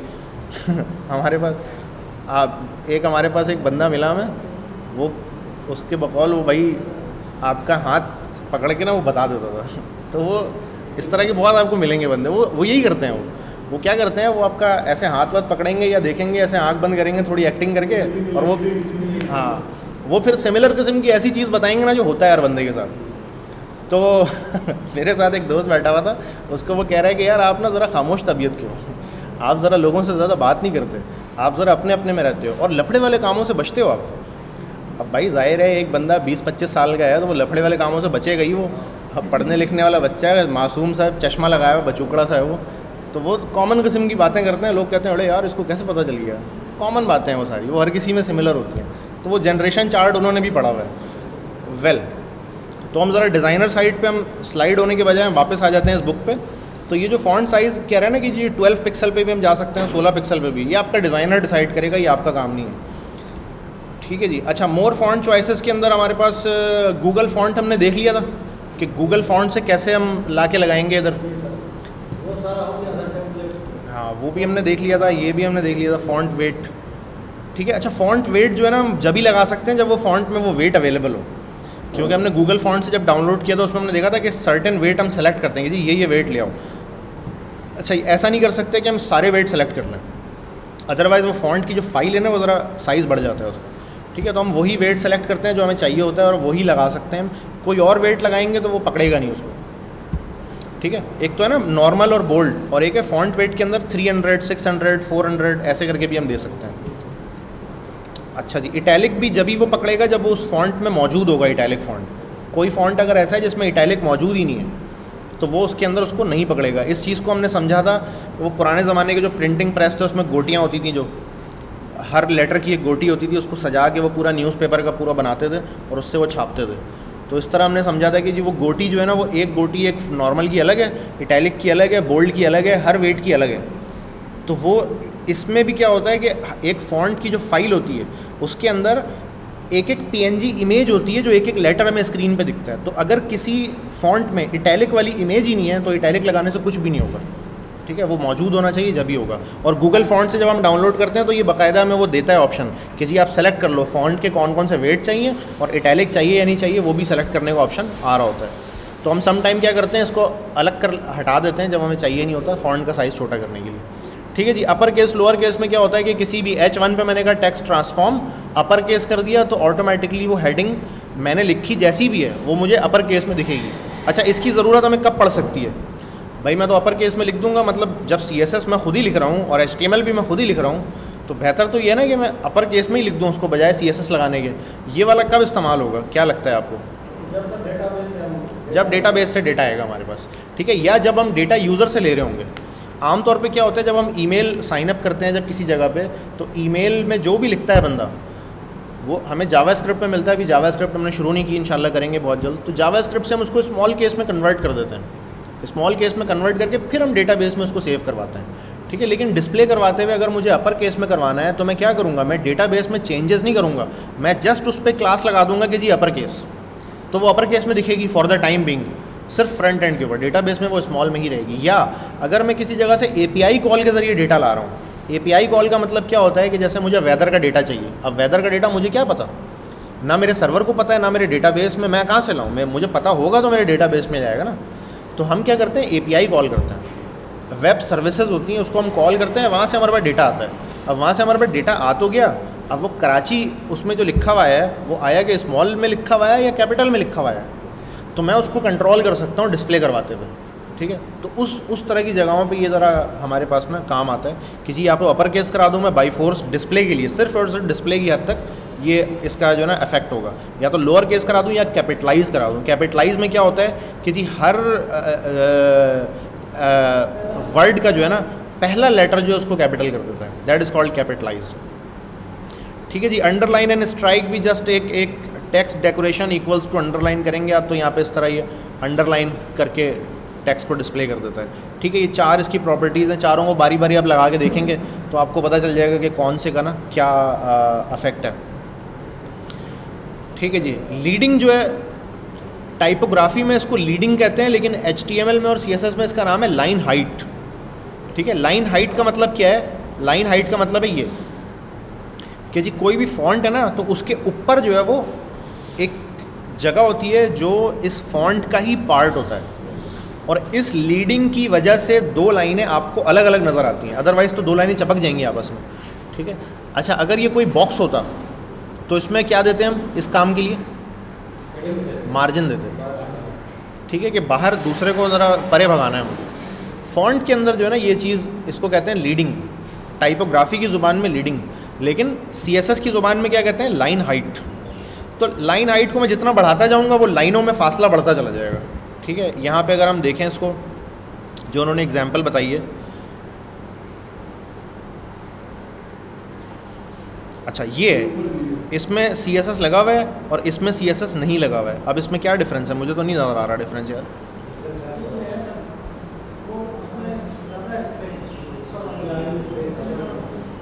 ओ हाँ। थोड़ा सा दूर, अपने मुँह को थोड़ा सा दूर कर रहा हूँ ना स्क्रीन से तो फिर ज़रा सा नज़र आ रहा है। अच्छा तो इस वाले में लाइन के अंदर जो फासला है वो थोड़ा ज़्यादा है और इस वाले में लाइनों में फासला ज़रा कम है। ठीक है जी। तो लाइन हाइट इसने रखा है और 1.4 पॉइंट e में यहाँ पे इसको दिया है। अच्छा आप याद रखें कि जैसे हमने बॉक्स में देखा था ना बॉक्स में हमने विर्थ और हाइट देखा था कि यार हम उसको पिक्सल में दे सकते हैं परसेंटेज में दे सकते हैं और ईएम में भी दे सकते हैं। ठीक है? इसी तरीके से अब फॉन्ट के अंदर भी ई का ज़िक्र आ गया ना तो जहाँ जहाँ पर भी साइज़ होगा, कि जी इतना दूर हो जाओ, इतना साइज़ ले लो तो वहाँ वहाँ पे ई का इस्तेमाल हम कर सकते हैं। ठीक है? ई का इस्तेमाल करने से क्या होगा? मिसाल के तौर पे आप इमेजिन करें कि ये 16 पिक्सल का फॉन्ट है और इसमें 16 पिक्सल का ही डिस्टेंस है आपस में। तो ये ऐसा दिख रहा है। लेकिन अगर किसी वजह से बॉडी का साइज़ बढ़ा 16 से 32 पिक्सल हो गया, लेकिन ये फासला तो नहीं बढ़ेगा। ये तो मैंने 16 पिक्सल अगर दिया है पी एक्स करके दिया है अगर मैंने तो ये फासला तो नहीं बढ़ेगा। तो वो जितना दूर अभी दिख रही है ना लाइनें आपस में, उतना दूर नहीं दिखेगी। थोड़ा चपकी भी दिखेगी, क्योंकि फॉन्ट बड़ा हो गया और फासला नहीं बढ़ा साथ तो ई e में देने से क्या होगा कि अगर ये फॉन्ट बढ़ा तो साथ साथ ये फासला भी बढ़ेगा। क्योंकि वो फासला कितना है? वो एक एम के बराबर है फासला। तो इसलिए वो ज़ाहिर है, जब एम बड़ा होगा तो वो फासला भी बड़ा होगा साथ साथ या मैं परसेंटेज में दूँ, लेकिन ई एम जो है या आर ई एम जो है, वो ज़्यादा अप्रोप्रिएट है। अच्छा letter and word spacing letter spacing जो नाम से ही ज़ाहिर है कि दो लेटर के आपस में जो फासला होगा ना, उसको लेटर स्पेसिंग है। 0.2 पॉइंट ई एम किया है इसने तो जी, ये देखें आप, इसमें ना फासला आ गया, आपस में। ठीक है? अच्छा 0.2 पॉइंट टू ई एम का मतलब क्या है? कि इस एच वन का जो फॉन्ट है ना, उसके अंदर जो भी एम का साइज़ है, उसका 0.2 पॉइंट टू ठीक हो गया। और वर्ड स्पेसिंग आप देखें, ये वाला जो है वर्ड स्पेसिंग है। बाय ईव डकेट ऐसे करके ठीक है? तो वर्ड के दरमियान फासला देना लेटर्स के दरमियान फासला देना, ये सारा कुछ जो जो आप सोच सकते हैं, वो सारा सीएसएस में अवेलेबल है पॉसिबल है। ठीक है जी टेक्स्ट अलाइनमेंट अच्छा टेक्स्ट अलाइनमेंट के बारे में जैसा कि नाम से ही ज़ाहिर है कि जी किसी भी पैराग्राफ के अंदर टेक्स्ट जो है वो लेफ़्ट हो जाए राइट हो जाए, या सेंटर हो जाए, या जस्टिफाई हो जाए। ठीक है जस्टिफाई क्या करता है? वो ज़रा वर्ड को वर्ड के, को ऐसे स्ट्रेच करता है कि उसकी साइडें बराबर हो जाती हैं। ठीक है तो लेकिन इसके बारे में एक चीज़ समझ लें कि टेक्स्ट अलाइन उसी सूरत में काम करेगा जब बॉक्स के अंदर जगह मौजूद होगी। जब बॉक्स के अंदर जगह मौजूद होगी। मिसाल के तौर पर अगर मैं इस पैराग्राफ के ऊपर लगाता हूँ टेक्स्ट अलाइन सेंटर तो क्या ये सेंटर में हो जाएगा? नहीं होगा। ठीक है? सेंटर में इसकी कौन सी जगह होगी? ये सिर्फ़ जो लास्ट वाली लाइन है ना इसकी, यहाँ जो इतना फासला है, ये फासला जो है ना ज़रा आधा इधर भी आ जाएगा, आधा इधर आ जाएगा। और ये लास्ट वाली लाइन सेंटर में हो जाएगी। दरमियान वाली लाइन सेंटर में नहीं होंगी। क्यों नहीं होगी? वो ऑलरेडी फिक्स्ड है, क्योंकि इसका जो, ये जो कंटेनर है, ये कंटेनर के अंदर जो कंटेंट है इसका, वो कंटेनर पे टाइट हुआ हुआ है। ठीक है? तो अब इसके पास लेफ़्ट या राइट होने की जगह ही नहीं है। अच्छा ऑन अदर हैंड आप देखें, ये भी एक पैराग्राफ है। ये जो है ना बाई एव डकेट जो है, ये भी एक पैराग्राफ है। लेकिन इस पैराग्राफ में सिर्फ़ तीन वर्ड लिखे हुए हैं। अच्छा क्योंकि पैराग्राफ एक ब्लॉक लेवल एलिमेंट होता है तो वो विर्थ पूरी लेता है लास्ट तक। और तीन वर्ड लिखे हुए हैं। तो इसका मतलब क्या है कि अब इस तीन वर्ड को मैं सेंटर करूँगा तो ये सेंटर में होगा।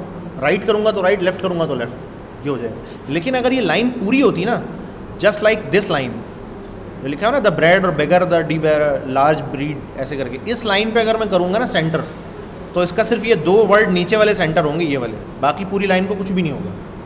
अच्छा अगर मुझे टेक्स्ट अलाइन से ये काम करना है तो आया कि या तो मैं फिर ये करूँ कि सम हाउ मैं टेक्स्ट को छोटा करूँ, जो कि पॉसिबल नहीं है, जो कि पॉसिबल नहीं है, ठीक है? अच्छा अगर मैं पैडिंग भी दूँगा तो पैडिंग दोनों साइड से इक्वल इक्वल दूँगा तो वो पैडिंग पे टाइट हो जाएगा। और हम ये बात जानते हैं कि हमने बॉक्स मॉडल जो पढ़ा था, कि बॉर्डर मार्जिन और पैडिंग ये तीनों मिला के बॉक्स मॉडल बनता है।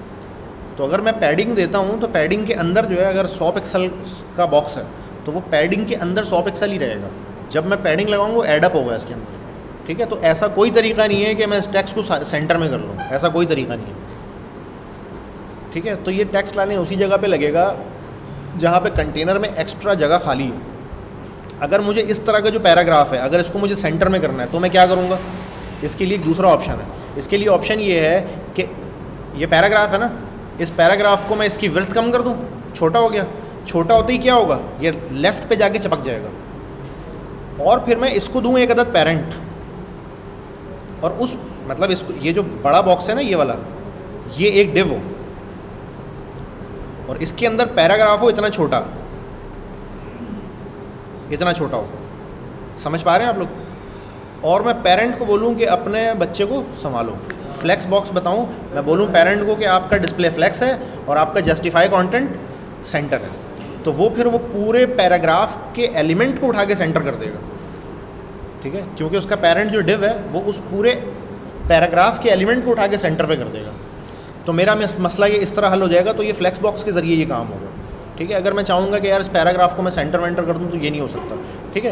तो टेक्स्ट लाइन कौन कौन सी जगह पर इस्तेमाल होगा? कि कोई बड़ा कंटेनर है, उसके अंदर कोई छोटा टेक्स्ट है। ठीक है, ये एच वन मैंने लिखा है। एच वन में भी क्या होता है? सही एच वन है ना? ये H one block level element होता है, ये पूरी विर्थ लेता है आखिर तक। तो इस एच वन के ऊपर अगर मैं लगाऊँगा ना टेक्स्ट लाइन सेंटर तो चल जाएगा। क्योंकि इसके ऊपर पूरी विर्थ है। सेंटर करूँगा सेंटर हो जाएगा, लेकिन पैराग्राफ नहीं होगा। रीज़न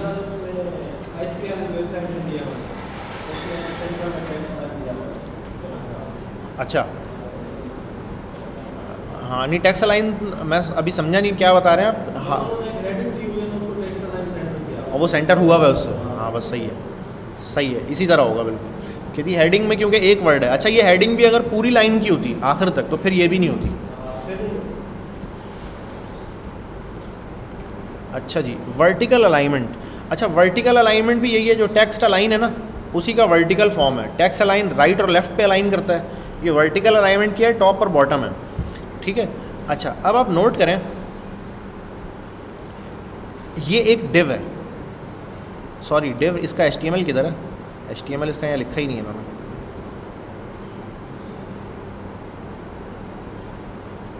एच नहीं लिखा है इसका। वेल well, हम एज्यूम करते हैं कि क्या है ये। ये जो है ना एक डिव है। इतना। ठीक है? अच्छा डिव को जब तक मैं विर्थ हाइट नहीं देता हूँ, उसकी विर्थ भी ज़ीरो होती है और हाइट भी ज़ीरो होती है। ऐसा ही है? जब डिव में बनाता हूँ तो उसकी विर्थ और हाइट क्या होती है? हाँ भाई। बाई डिफ़ॉल्ट उसकी विर्थ क्या होती है? अगर उसमें कोई कंटेंट ना हो तो। अच्छा हाइट तो ज़ीरो होती है, विर्थ ज़ीरो नहीं होती। विर्थ उसकी फुल होती है। ठीक है? क्योंकि ब्लॉक लेवल एलिमेंट है। ठीक है तो हाइट ज़ीरो होती है भारत। क्योंकि हम हाइट की बात कर रहे हैं तो वो हाइट ज़ीरो होती है उसकी। अच्छा अब क्या हुआ कि इस डिव के अंदर इसने एक अदद लिखा टेक्स्ट अभी इमेज नहीं है, आप इमेजिन करें इमेज नहीं है अभी। इसने लिखा एक अदद टेक्स्ट तो अब इसकी हाइट कितनी हो जाएगी? जितना टेक्स्ट है, उतनी हाइट हो जाएगी।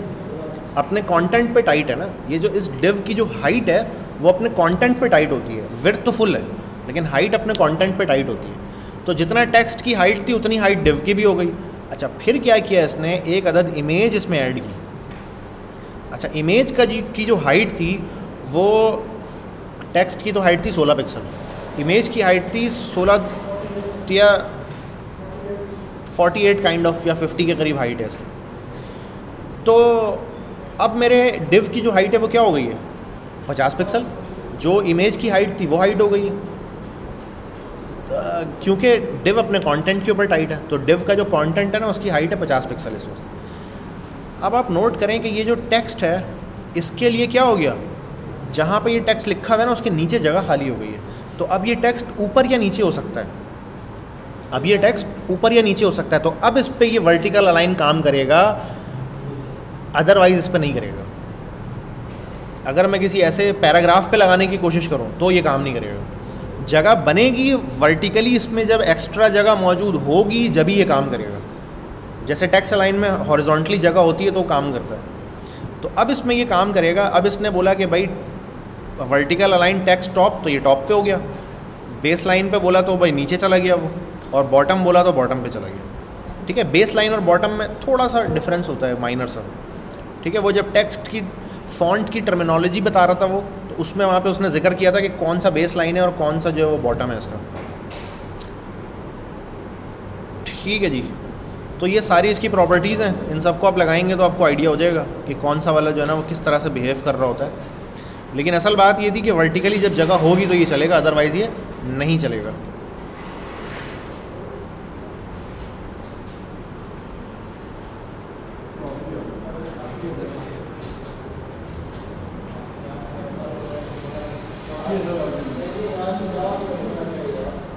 यार ये तो थ्योरेटिकल बातें हैं, कोई ऐसी बात तो है नहीं नहीं।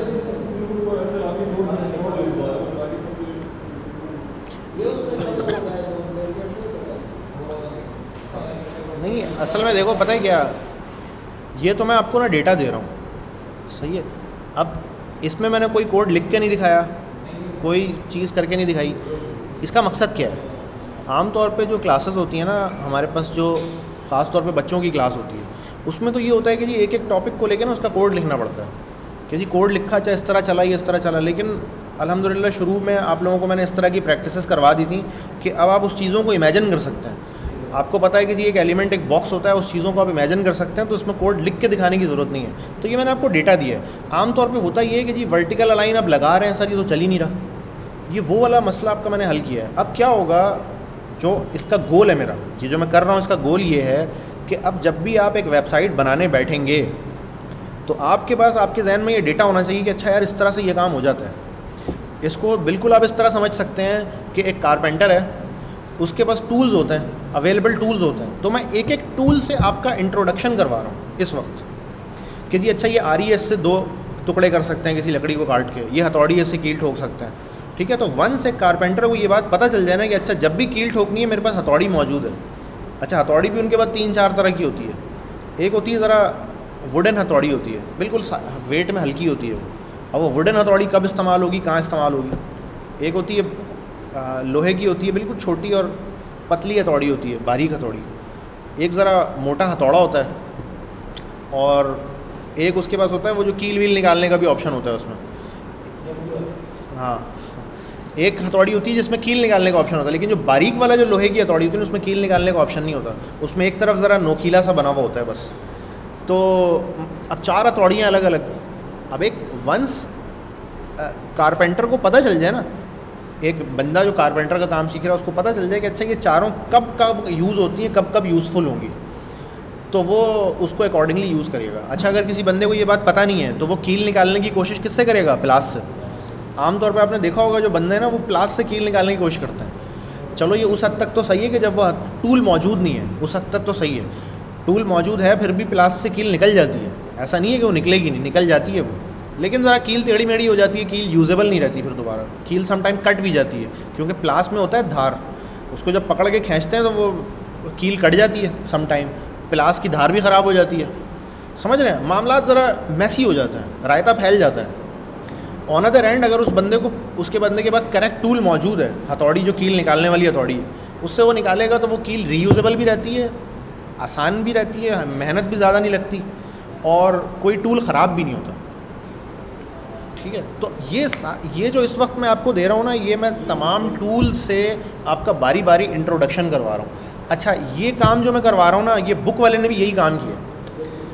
क्योंकि हम शुरू में पहले दिन जब हमने पढ़ा ना सी एस एस कि जी अच्छा ये रूल होते हैं, ये सेलेक्टर होते हैं। That's it C S S हमारी उसी दिन ख़त्म हो गई थी। अब हमारे पास जो रह गया ना, वो जितने अवेलेबल रूल्स हैं, उन सबसे इंट्रोडक्शन चल रहा है हमारा। बुक वाला भी यही कर रहा है। बुक वाले ने भी पहले पेज पे ये बता दिया कि जी ये सी ऐसे होती है रूल और सेलेक्टर बता दिया। अब बुक वाला भी यही कर रहा है कि बारी बारी इन चीज़ों से इंट्रोडक्शन करवा रहा है। अच्छा अगर जो बात मैं पढ़ा रहा हूँ ना आपको, ये बात आप खुद से भी बुक पढ़ेंगे तो आपको यही पता चलेगा।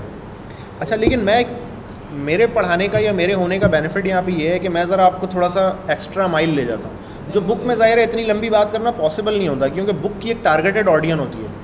ठीक है बुक को नहीं पता कि आपने पढ़नी है। बुक की एक टारगेटेड ऑडियन होती है जो शुरू में इन्होंने एक पैराग्राफ लिखा होता है, हर बुक के शुरू में, कि जी ये बुक किन लोगों के लिए लिखी जा रही है? तो वो उस टारगेटेड ऑडियन के अंदर रहता है, ठीक है? अच्छा अब ज़रा सा कोई अगर बंदा है स्कूल गोइंग बच्चा है अगर तो जब मैं उसको यही बुक पढ़ाता हूँ तो ज़रा मैं स्कूल गोइंग वाली कॉन्टेक्स्ट की चीज़ें इस्तेमाल करता हूँ। जैसे आपका ज़रा मिलिट्री का बैकग्राउंड है आपका तो आपने फ़ौरन पहचान लिया यार फ्लैगशिप तो होती है अभी भी। समझ रहे हैं आप? तो कॉन्टेक्स्ट एक बिल्डअप हो जाता है, लेकिन वो बुक वाले को नहीं पता।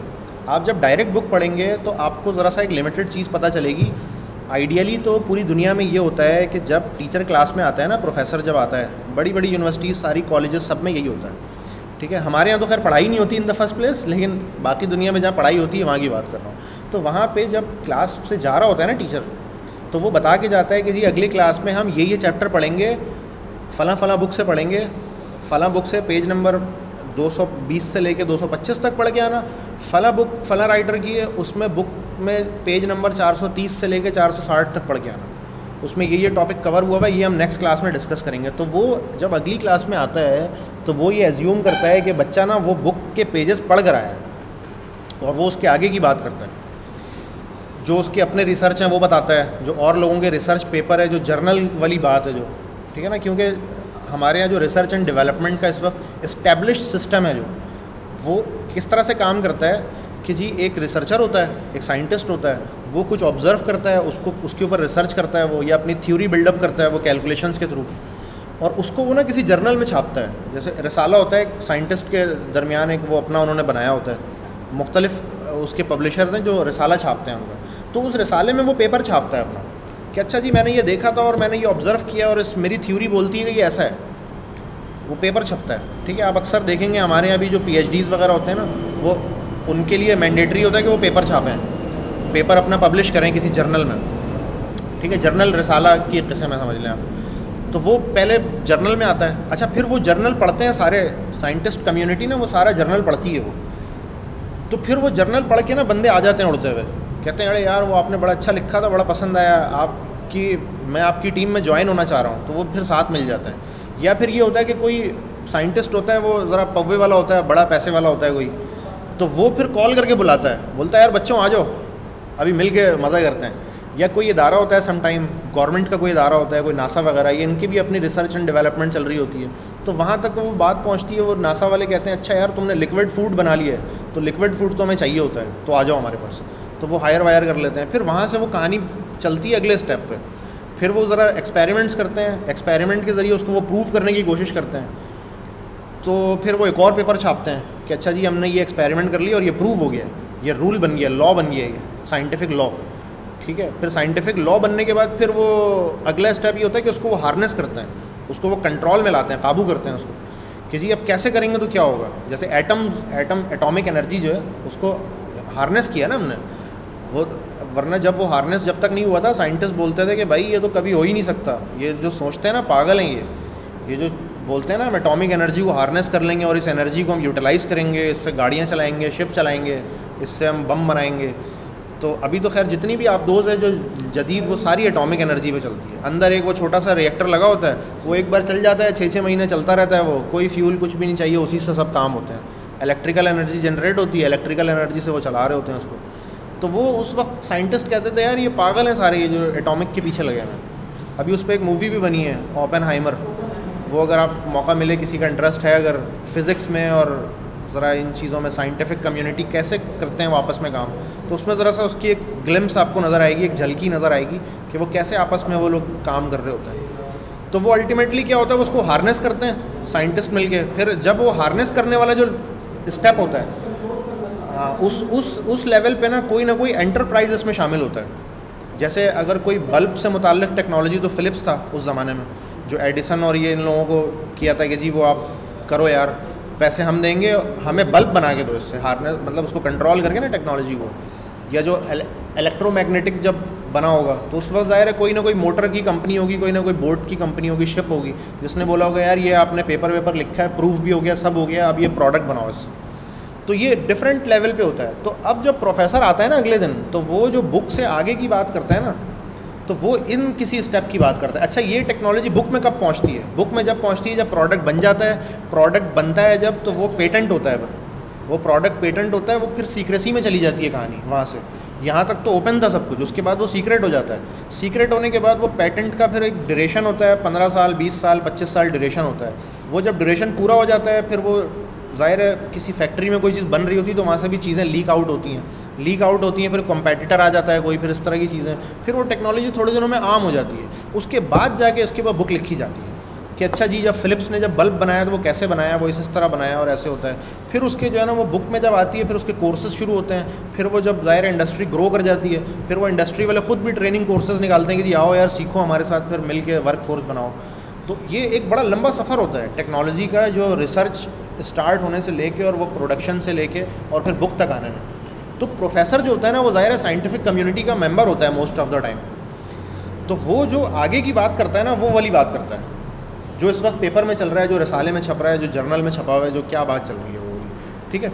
अच्छा तो यही वजह है कि सैलानी में जितने भी टीचर हायर किए जाते हैं, जितने भी लोग रखे जाते हैं, वो उसमें सबसे पहला ऑब्जेक्टिव ये होता है कि वो टीचर या तो खुद डेवलपर हो सॉफ्टवेयर डेवलपर किसी कंपनी में जॉब कर रहा हो, या एज अ फ्री यानी उसका जो ज़रिया मुआश हो ना, वो सॉफ्टवेयर डेवलपमेंट ही हो। ठीक है? सिर्फ़ टीचर ना हो। उसको ज़रा कुछ ना कुछ आगे की बात पता हो, क्योंकि ज़ाहिर है जब आप काम करते हैं सॉफ्टवेयर डेवलपमेंट जब आप ऑन ग्राउंड कर रहे होते हैं तो बहुत सारी ऐसी चीज़ें होती हैं जो अभी बुक में आने में उसको सालों लगते हैं।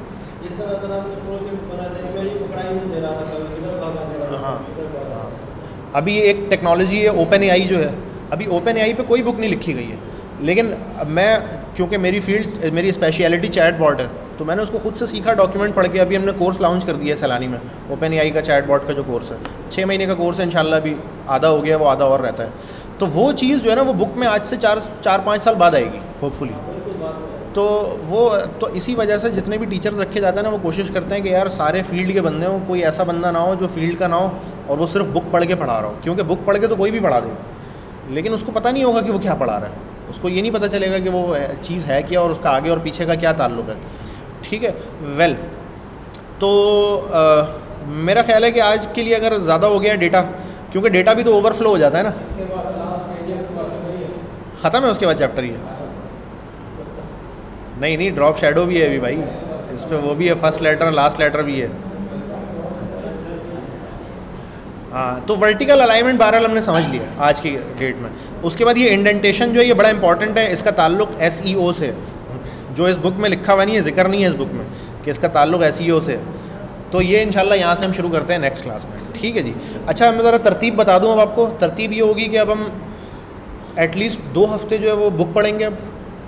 उसके बाद दोबारा कोडिंग वीक करेंगे हम और दोबारा आपको असाइनमेंट्स मिलेंगे। उसी तरह जैसे पहले मिले थे।